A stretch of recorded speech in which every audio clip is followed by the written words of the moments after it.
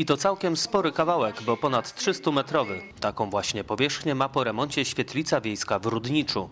Gmina Wągrowiec konsekwentnie modernizuje te małe centra kultury. W tak niewielkich miejscowościach świetlica to jedyne miejsce, w którym mogą spotkać się mieszkańcy. Jeżeli nie ma takiego punktu na wsi, to to centrum rozrywki, jak my to mówimy, staje się przystanek autobusowy.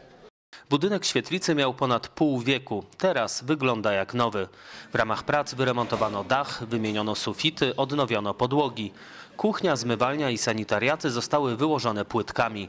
Budynek zyskał nowe drzwi i okna, został ocieplony i otynkowany. Wokół niego powstały tarasy i place z kostki brukowej, stanęły też nowe ławki. Prace kosztowały ponad 386 tysięcy złotych. Prawie dwie trzecie tej kwoty pochodziło z unijnej dotacji. Ze świetlicy korzystać będą wszystkie pokolenia mieszkańców.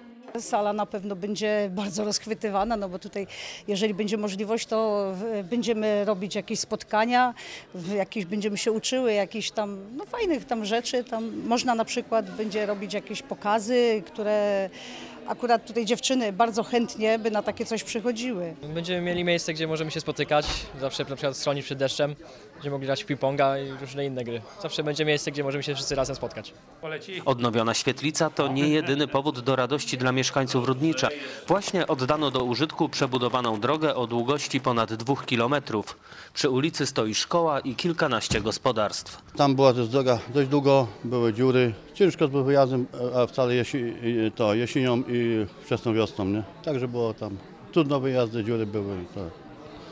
Jeszcze to było, była dwa, 7 lat temu to była wysypana kamieniem, także była trochę utwardzona, nie? ale w, w tym kamieniu się robiły otwory, dziury się robiły, także się ciężko jechał samochodem. Przedtem nie, to bardzo utrudnione było, najgorzej wiosną jak puszczało i tak dalej, nie. Teraz jest bardzo dobrze, dobrze się jeździ.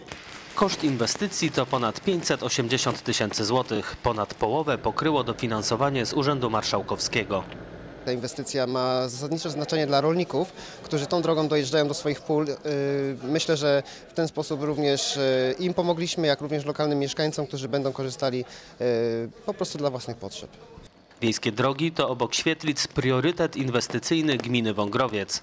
Po to, żeby poprawiać tą infrastrukturę komunikacyjną, by zwiększać konkurencyjność wsi, by też stwarzać coraz lepsze warunki do inwestowania na wsi, nie tylko pod względem zamieszkiwania, ale także prowadzonej działalności. Staramy się bardzo sprawnie serwisować te drogi, szczególnie w okresie zimowym, e, po to, by właśnie nasi przedsiębiorcy nie mieli jakiegokolwiek dyskomfortu. Rudnicze to małe sołectwo zamieszkane przez ponad 400 mieszkańców. Od trzech lat realizuje plan rozwoju wsi. Nowa droga i przebudowana świetlica są tego najlepszym dowodem.